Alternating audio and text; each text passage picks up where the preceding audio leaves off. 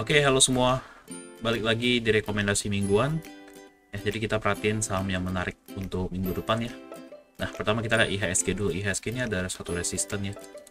Kalau kita perhatiin di daerah sini. Oke. Nah, kemarin sempat coba untuk break tapi gagal, terus turun lagi. Jadi minggu depan ada dua kemungkinan. Kalau misalnya IHSG bisa break langsung ke atas, itu akan baik atau kemungkinan kedua IHSG bisa retest lagi ke bawah. Nah, kalau diperhatiin sekarang IHSG sebenarnya overall masih uptrend ya. Dia bikin uh, high low, high low lagi, high low lagi. Nah, seharusnya kalau IHSG mau ngetes harusnya dia bikin another high low. Oke. Okay? Jadi ini untuk IHSG minggu depan kita lihat apakah bisa break. Kalau misalnya nggak bisa ya kemungkinan masih bakal sideways di sini-sini aja. Nah, untuk rekomendasi minggu depan ada 5 saham yang pertama BBRI. Nah, kalau kita perhatiin 4 hari terakhir BBRI naiknya lumayan signifikan, lumayan bagus. Kita lihat volumenya juga lumayan cakep ya. Foreign flow juga bagus. Nah, kalau kita perhatiin, kita tarik sebuah garis dari high-nya ke sini. Ya, udah di break juga. MA20 juga udah dilewatin, bagus.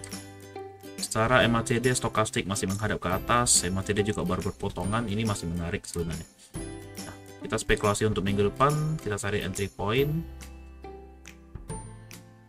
Oke. Nah BBRI kita jaga di MA20 nya aja ya. Di 3730 ya. Sampai dengan uh, Fibonacci yang 618 jangan dikejar di atas. 3780 Oke, kita cut loss kalau dia break di bawah MA20 ya. Kita cut loss di sekitar ya 3670 oke okay. eh. terus TP1 kita set ini terlalu tipis nah di resisten pertama 3950 dan juga 4120 oke okay. jadi BBRI kita entry di 3730 terlalu tinggi nih di 3700 sampai 3780 ya cut loss di 3670 Oke, TP1 3950 dan TP2 di 4120. Oke, itu untuk BBRI. Yang kedua, saham yang bank juga, cuma agak sedikit lucu-lucu, BBYB. Kenapa menarik? Ini sideways terus. Kita perhatiin juga kalau kita gambar sebuah garis trend line. Ya, masih uptrend. Ini harusnya bisa ngetes ke sini lagi. Terus juga dari atas ini bisa membentuk sebuah symmetrical triangle. Ya, jadi kalau bisa dari sini mantul break ke atas ini menarik. Atau kita jaga tren lainnya jangan sampai dia break ke bawah. Oke. Nah BBB sendiri kita gambar Fibonacci nya ya, dari low ke high. Ya tarik sini. Ya di sini oke. Nah. Kita besarin. Oke kita boleh entry di 1420 sampai dengan 1460 oke kita cut loss. Kalau dia break di bawah kita cut loss di 1390 aja. kalau dia break ke bawah garis trendline ya. Berarti kalau ke 1390 ini di sekitar 4% lebih. Oke nggak masalah. Oke TP1 kalau kita masuk di 1450 kalau di 1460 ya TP1 di 1530 TP2 di 1615 Oke, yang ketiga era. Nah, era sendiri kalau kita perhatiin ini lagi retest ya. Jadi kalau kita tarik garis trend line ke bawah, oke. Nah, ini lagi retest kemarin. Masih menarik, menurut gua masih menarik. Terus kalau kita gambar Fibonacci-nya dari low ke high ya pas juga di support ya. Oke ini masih menarik kalau menurut gua. Era kita boleh entry di 600 sampai dengan 620 cut loss berapa tick di bawah kita cut loss di 590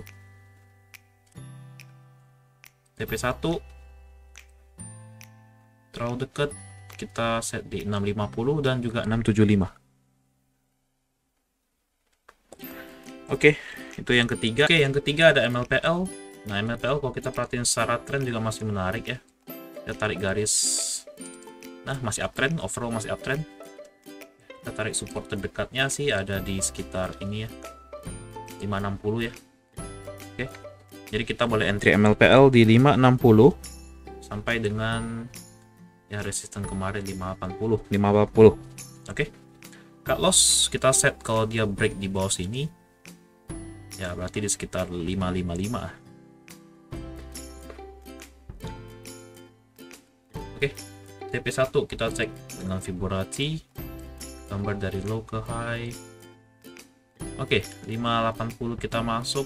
Next target ada di nah, di 600 dulu, baru 630. TP1 600, TP2 630. Oke, yang terakhir di perkapalan SMDR Nah SMD masih sideways, cuma kalau gue lihat sih kita bisa spekulasi untuk sideways ya untuk trading sideways. Buy on weakness. Nah kita tarik support terdekatnya. Ya di sini oke okay, 605 atau bahkan sih yang paling dekat sih ini 615 oke. Okay. kita nggak usah buy terlalu tinggi. Kita buy di 615 sampai dengan ya di EMA 20 635 cut loss kalau dia bikin new low berarti 610 closing kayak biasa. Nah 635 TP1 kita set di 670 dan TP2 kita set di oke okay, 700 nah itu aja untuk 5 saham rekomendasi minggu depan. Ya perhatiin resiko masing-masing ya jangan masuk terlalu gede. Karena kenapa kalau kita lihat IHSG sih masih di daerah resisten. Jadi jangan buru-buru jangan terlalu di swing. Sampai dia bisa break ini baru menarik. Oke? Itu aja salam cuan